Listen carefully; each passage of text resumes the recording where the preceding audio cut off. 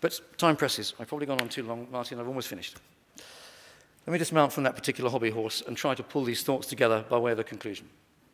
Yes, there are traditional ways of understanding and developing leadership. The qualities approach and the functional approach are but two.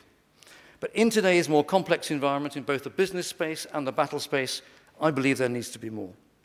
I contend the leader needs to analyze very carefully at any moment in time what he is trying to do and at which of those three levels of leadership. The strategic analysis, the operational decision making, and the tactical delivery levels of activity make different demands on the leader, and he needs to know this and understand the differences and what he is doing at any moment in time.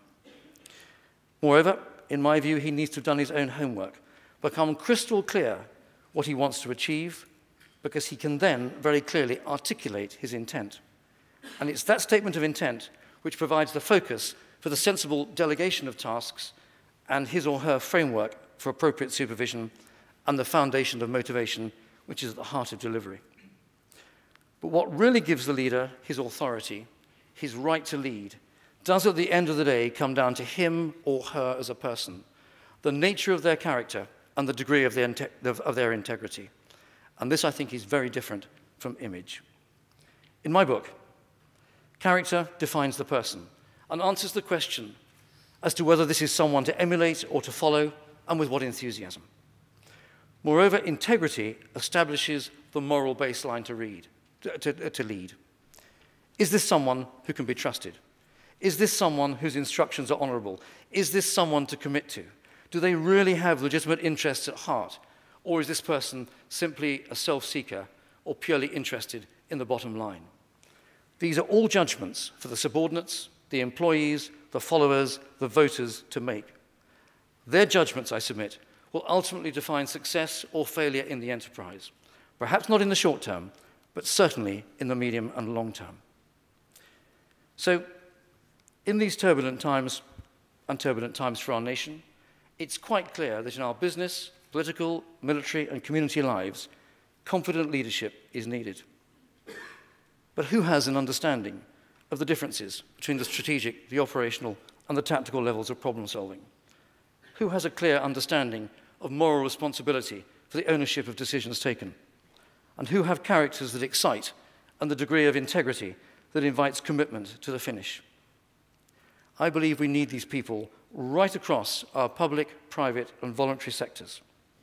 And so, to finish on a parochial note, I believe the Windsor Leadership Trust has a huge role in bringing these people forward. So, thank you for being here. Thank you for your time. Thank you for your participation. And I look forward to our discussions. Thank you. Richard, uh, marvellous uh, material for us to explore there uh, together over the next uh, 40 minutes or so. Um, I must start by putting on my own journalistic hat and uh, asking you about the events of the last uh, 24 hours.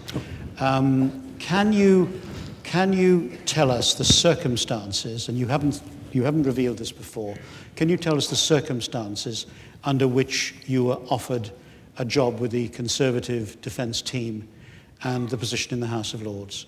How did it happen? Has it been building up for some time? Um, well, um, integrity and honesty are things that we peddle very hard in the Windsor Leadership Trust. So I'll give it to you absolutely straight. Um, I took 10 days, two weeks holiday. We were up in Scotland fishing. I was standing in the River Spey with a 15 foot rod and about 30 metres of line out, expecting a call from David Cameron because his office had rung. But it was a bit late, so I'd gone back in the river not to waste valuable fishing time. And I was up to about there in the river when my blackberry burbled.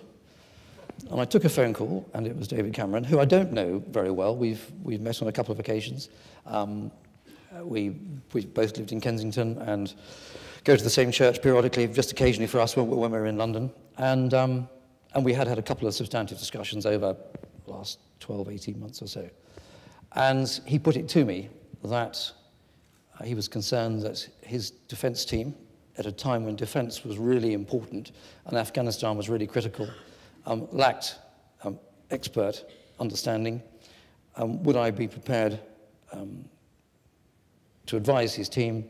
And if the Conservatives win the election, would I be prepared to take a peerage and, and maybe join his ministerial team? Um, well, it was an interesting question to be put to, and I was up to there in the Spey with 30 yards of line out. Um, but because I feel so strongly about these things, um, the answer was yes. Um, I was then quite sort of taken, um, moved back to the bank quite quickly by a rather bad route, which had the net effect of flooding my BlackBerry, so it hasn't actually worked very well since. Um, but that's where we are. And um, I, I did actually say to him, well, you know, when do you want to get on with this? Bearing in mind I'm, I'm still a serving soldier, and I shall be until the 22nd of November. Uh, he said, I understand that, um, but I'd like to announce it the, in my speech at the end of the party conference, which is today. Um, as with all things in life, uh, it leaked out a little bit early, but um, that's how I come to be going to do um, what I might be doing. Um, and, and I think, to be honest, it rather indicates that it wasn't a long-term plot we've been hatching up for a long time. I mean, I passionately so, so, so really, genuinely, nothing beforehand, because of course the Labour Party are saying that this is part of a long-term plan and that everything, therefore, that you said in the previous months when you attacked the decision-making processes in government um, were actually you doing it as a member of the opposition, as it were. I think memories are rather short. I think I started being quite awkward on some of these issues to do with Iraq and Afghanistan um, back in summer 2006 and certainly in October 2006, which I think well predates David Cameron's time as leader. So I'm afraid um, it doesn't necessarily follow that um, if I don't agree with everything that he says and does, that I'll give him an easy time either.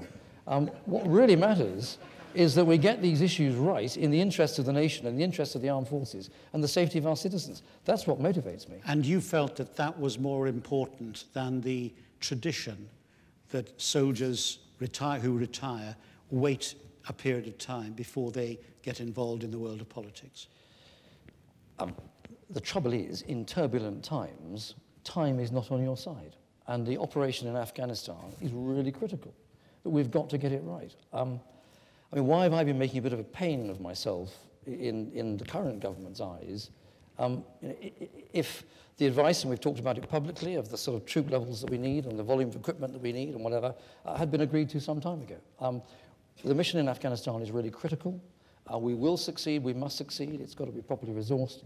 And frankly, if I'd waited an elegant year, that could be a little bit too long. And I think the other point is really quite important, and I hope we're going to move on quite soon, Martin, to something to do with leadership. Um, um, it, it's all is, to do with the leadership. It's all to do with how you come to a leadership position and move from one to another. I'm only teasing it, sorry. Um,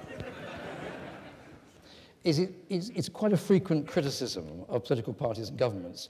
Well, there's no one in the cabinet that's been in the army, there's no one that's ever been involved in operations.